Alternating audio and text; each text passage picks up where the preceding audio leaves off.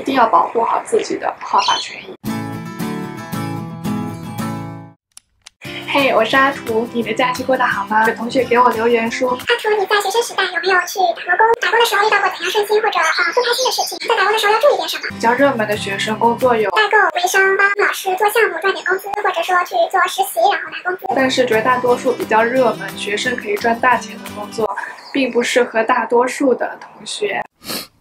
在学生的时代就做过很多不同种类、工资也完全差别非常大的工作，所以我理解没有很厉害的家庭背景，没有很厉害的大神推荐，自己的特长没有那么明显，学历没有那么厉害的时候，要怎么去找一份适合自己的工作？在找工作的时候要注意点什么？在打工之前，我们首先要知道自己为什么要去打工，是为了零花钱，还是为了生活费？是为了赚足自己的工作？做经验还是为了让自己的简历在今后看起来会比较好看。我就国外打工的这些经验给大家普及一下，关于工作时长来划分的工作种类有哪一些？如果你觉得从留学生的角度来划分工作种类对你没有什么帮助的话，可以先跳到下一趴。我们常说的 work 大概可以分为这么几点：permanent work，从字面上来看就是长期的雇佣关系；那相对的就是 temporary work，这一段时间在这家公司。工作。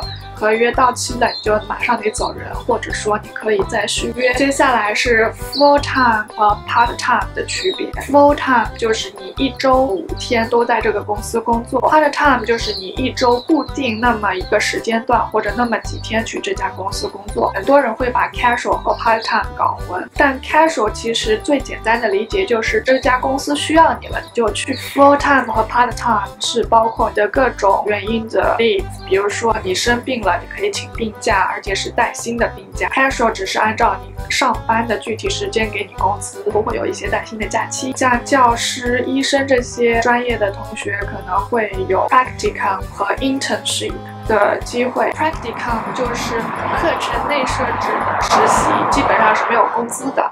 你不做这个实习就没有办法毕业。Internship 一般是你毕业以后有工资的工作，当然也有一些 internship 是在学校上课期间学校派遣或者你自己找的一些实习工作，然后他们会配你一些工资。接下来我们来聊一聊打工的各个步骤。从时间上来划分，我们可以分为假期打工、上课时间的打工。假期打工一般以短期打工为如果你是在离家非常远的地方。上大学的话，你回家这段时间的工作是其实是非常难找的。另外一种呢，是在开学的时候打工。要注意的是，但你放假或者因为你考试的时时间的各种 schedule 的关系，你不能去工作。在假期和开学都可以做的工作，当然就是网上的工作，比如说上网课、做自媒体。那在打工之前，我们要做一些怎样的准备呢？就我个人而言，我会准备好两份简历。第一份简历会针对那些体力劳动。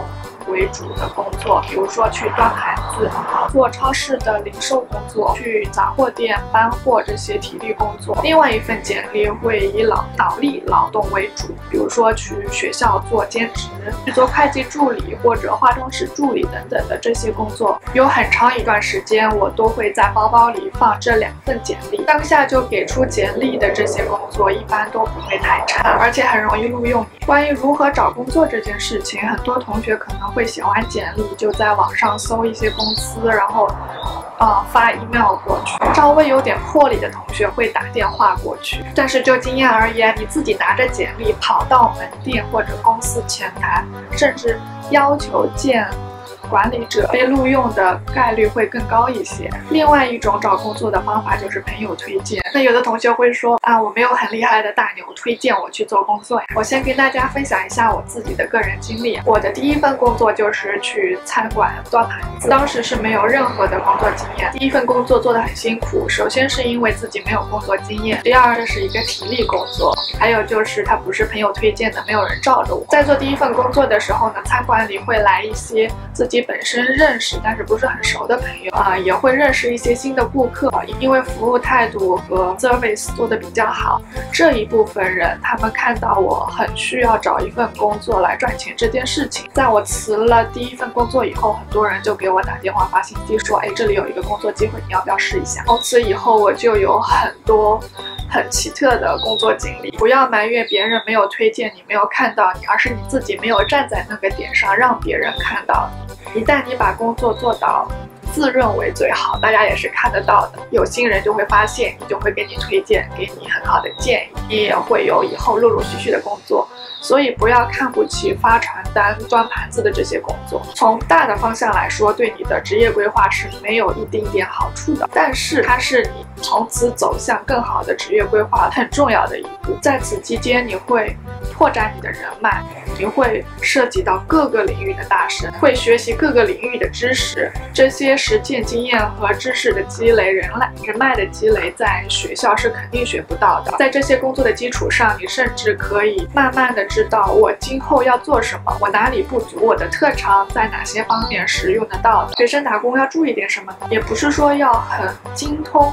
但是你要非常清楚关于打工或者工作的法律条款。如果你在澳大利亚的话，你最好清楚 Fair Work Act，就知道你的雇主是不是在问你，你的工时、工资是不是合理，Minimum Wage，你的最低工资是不是符合标准。在签署合同的时候，要把这些法律条款全部看清楚，确保自己的合法利益。当然，有的工作是没有办法签合同的，像我做过的化妆师助理，一家公司特别急着要找化妆师助理，我是朋友推荐去的。啊，就口头的承诺啊，你一天多少工资，我就去了。当然，老板非常 nice，工作结束了给我工资。朋友推荐的和自己去找的工作是不一样的。那所以朋友推荐的话，嗯可能还有一个朋友这么一个中间人给你保障。但是如果自己去找工作的话，尽量看一下合同的规定，不要让自己吃亏。接下来是个人的建议，第一点就是一定要安排好学习、生活和工作的时间。如果你连学习时间都没有办法安排好的话，就千万。不要去找工作，毕竟学生时代学习是第一任务。第二个就是我必须要强调的是了解或者清楚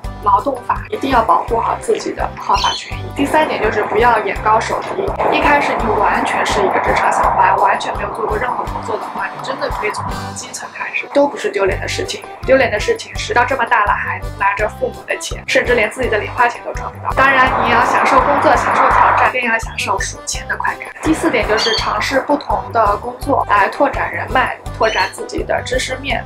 而这个工作可能跟你的专业没有多大的关系，这些工作经历在今后的生活中肯定能帮到。在学生时代就经历工作或者说被老板欺压的这种打工经历是非常有意思的。我现在回味起来也是有说不完的苦楚和快乐。祝各位同学找到自己理想的工作，赚很多很多很多的钱，并且保护好自己。最后呢，祝大家工作快乐，假期愉快，拜拜。